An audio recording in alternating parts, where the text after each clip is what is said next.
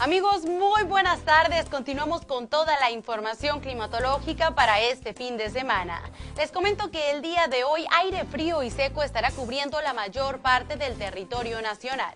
Esto estará generando poca nubosidad y presencia de temperaturas de frías a muy frías principalmente en el transcurso de la mañana y de la noche, así como evento de norte con velocidades de 30 a 40 kilómetros por hora y rachas de hasta 60 kilómetros por hora sobre el Istmo y Golfo de Tehuantepec.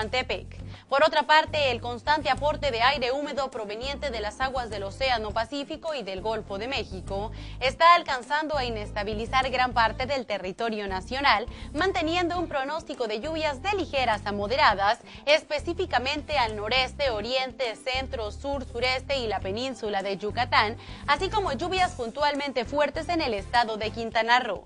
Mientras tanto, esta tarde en el estado de Sinaloa, las temperaturas están variando desde los 29 hasta alcanzar los 33 grados centígrados, predominando una condición de cielo mayormente despejada.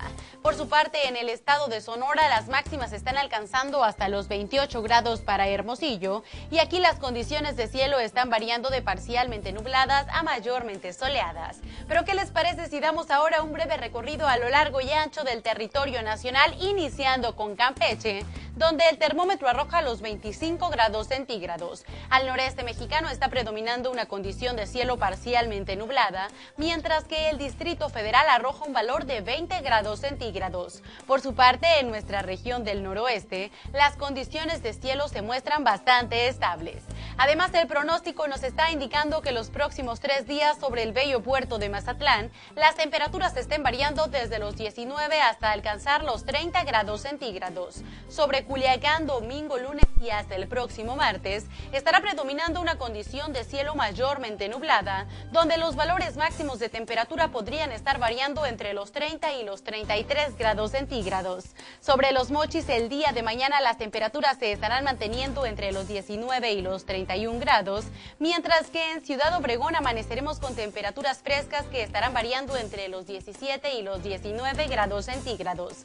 Por su parte, no podrían faltar, por supuesto, nuestros amigos de la capital sonorense, donde como podemos observar aquí las condiciones de cielo estarán variando de mayormente nubladas a parcialmente despejadas y en general las temperaturas se estarán manteniendo desde los 12 hasta alcanzar los 29 grados en el transcurso de la tarde. Amigos, sin más información hasta estos momentos me despido de ustedes, pero los invito a que continúen disfrutando de este fin de semana.